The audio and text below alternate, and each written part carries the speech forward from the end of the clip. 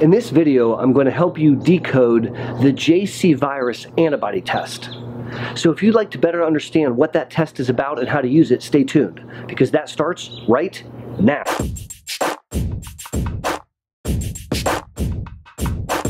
Howdy! Thanks for learning about MS with me, Aaron Boster. I started this YouTube channel to help my own MS clinic patients learn between visits, and it's my hope that through these videos, I can help you learn too. Today's topic is the JC virus antibody test. And so let me break it down for you. There is a virus called the JC virus, which stands for John Cunningham virus. And about half of humans over the age of 30 have been exposed and have contracted that virus. Now, the virus in and of itself does not hurt the human body. In fact, guys, we have thousands upon thousands of viruses that live inside our bodies, and our immune systems beat up on them, and we don't really care. There are certain conditions, however, where the JC virus can mutate. It can go into the brain and cause a very serious infection called PML, or progressive multifocal leukoencephalopathy. And we have seen this in the setting of several MS therapeutics, most notably in the setting of using a medicine called Tysabri or natalizumab. So when someone is taking Tysabri or considering taking Tysabri, there's most commonly, and there should always be, a discussion about the risk of uh, PML.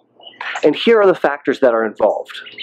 Number one, have you previously been exposed to the JC virus? Yes or no? And we can sort that out by checking a JC virus antibody. If the antibody is positive, that means that we have seen the JC virus or we've contracted the JC virus and our immune system has made antibodies against it, so we know we've we've contracted the virus. Or not. If your JC virus antibody negative, that means that we haven't come in contact with the virus and our immune system doesn't recognize it and doesn't make antibodies against it. So that's the first thing. If you are JC virus antibody negative, then you can't get the PML infection. That's like saying if you've never come in contact with HIV tainted fluids, then you can't get AIDS. Now, the risk of contracting the JC virus, not PML, but the virus, the JC virus, is somewhere between 2.5 and 20%, depending on which paper you read. Now there's a test, the JC virus antibody test, that we do every three months in patients treated with Tysabri. And if they're negative and they become positive, it tells us that they've now come in contact with the virus. So that's the first one. Have you been exposed to the virus or not? If you've been exposed to the virus, the second question is have you previously been exposed to immunosuppressant agents like chemotherapy? So these may include pills like Cellcept, uh, like methotrexate, like Imuran. They can include infusions like mitoxantrone or Cytoxan or And if you have been exposed to previous immunosuppression, that increases the individual's risk to get PML if they have the JC virus. So JC virus, yes or no? Prior immunosuppression, yes or no? The third uh, factor that we have to consider is how long have you been on Tysabri? And so each year that you're on Tysabri, if you're antibody positive, that risk goes up slightly. And in a second or two, I'm going to show you a table that I use to help discern all of this.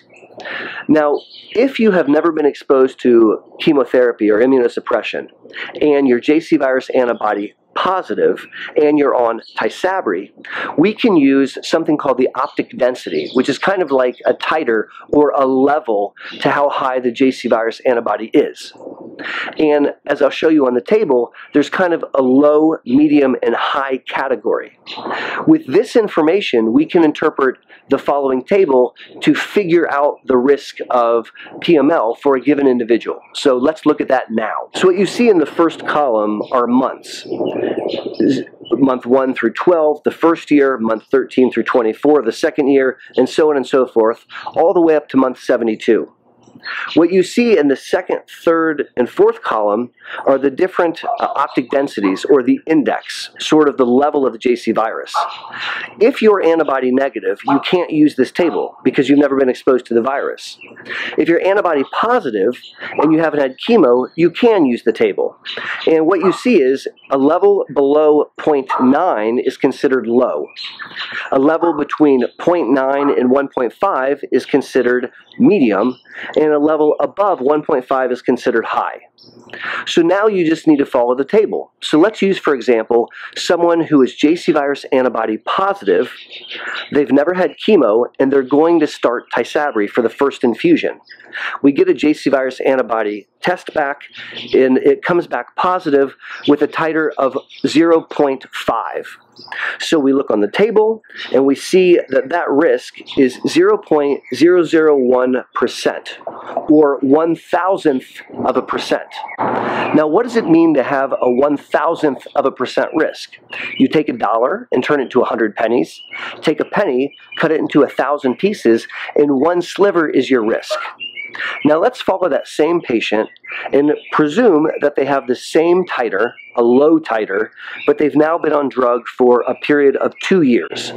So you look at the table for uh, 24 months and you follow it over under the low category and their risk is 0.005% or 5 thousandths of a percent.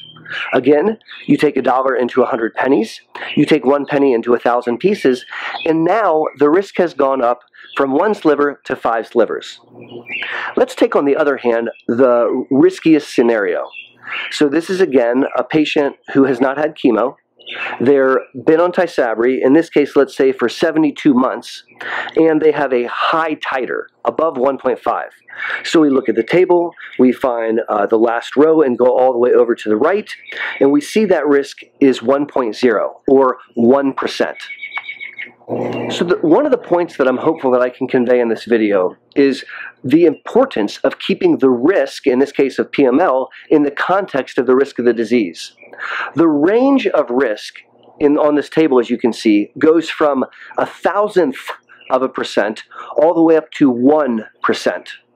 1% total. And I think all too often patients think a sort of yes no binary. Either they're going to get PML or they're not. And as you can see in the table, that's not really the way this works. I don't think that we should throw the baby out with the bathwater. And I also don't think that it's my right or privilege as a clinician to inform you that a given risk is either acceptable or not acceptable. I think it's my obligation to educate you, to show you how to interpret the risk, and then to listen to your answer. Because for you, a thousandth of a percent might not be acceptable. For another patient, a 1% risk in their mind may be laughable. One last comment is that if you have had prior immunosuppression, you can't use that optic density table. There's actually a different table to refer to. A second final comment is that you can't use this information in this table outside of Tysabri. The data is developed with Tysabri treated patients.